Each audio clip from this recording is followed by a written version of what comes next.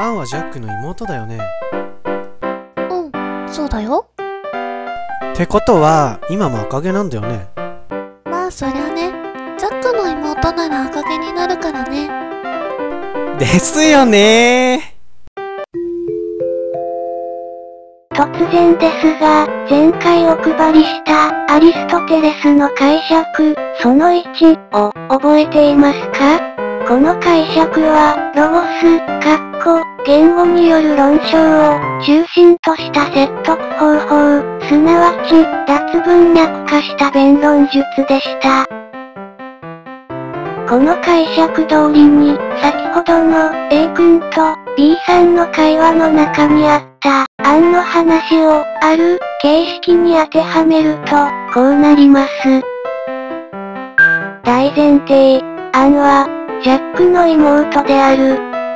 超前提、ジャックの妹なら、赤毛である。結論、案は、赤毛である。これは、先々週に皆さんが勉強した三段論法で、二つの前提から結論を導く推論です。古くから合理性の基準と考えられてきた伝統的な解釈なんですよ。内容はやっぱりすっきりと表現できた方がいいよねいらないものを省いて、必要な中身だけを抜き出さないとダメだよね。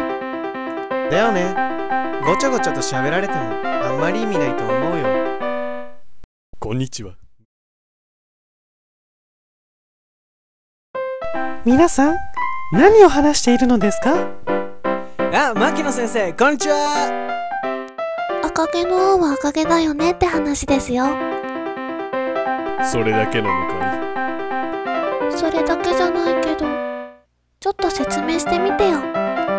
説得をするには文脈とか気にしなくてもわかるように必要なとこだけ抜き出して形式と客観に当てはめてしまった方がいいよねみたいなことかなそ、そうだね。お、落ち着け、ゆかりん。ごめんなさい。取り乱しちゃったわ。ならこうしましょう。さっきの赤毛のアンの話に戻してみるけど。アンは絶対に赤毛だって言えるの？ああそうじゃないんですかね。もし髪を染めていたりしたらどうでしょう？